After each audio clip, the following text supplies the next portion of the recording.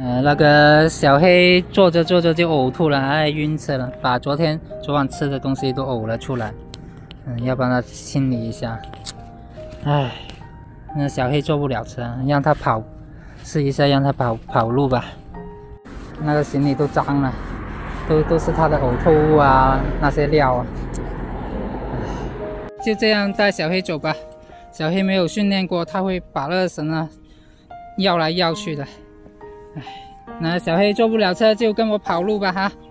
但是小黑的话，体力是远远不够浪浪厉害的。呃，开走一会儿，他就开始扯绳了。但但是没办法，要现在离那个休息的地方还有很长一段路路途啊，中间中间停不下来，中间停不下来，因为没有地方可以遮阴。到下一个可以遮阴的地方还有很长一段路。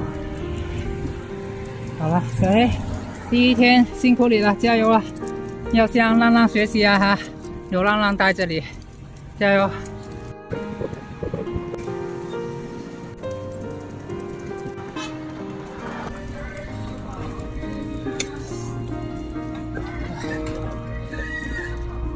好了，在一个公园。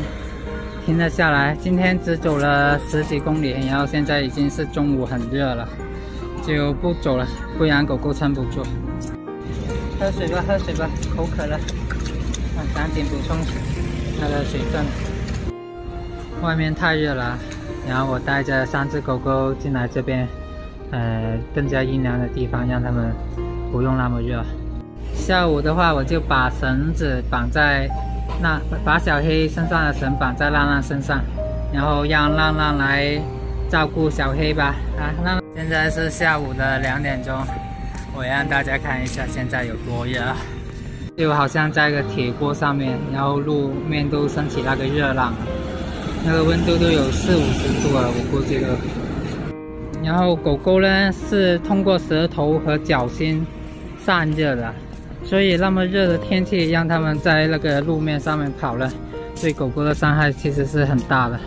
所以一到下午的话，我都不会再赶路了，让他们去阴凉的地方可以好好的休息。嗯，像现在这种呢就很热了，赶快的啊，让让看到前面有阴凉，乐乐看到前面有阴凉了，赶紧的跑过去避暑了。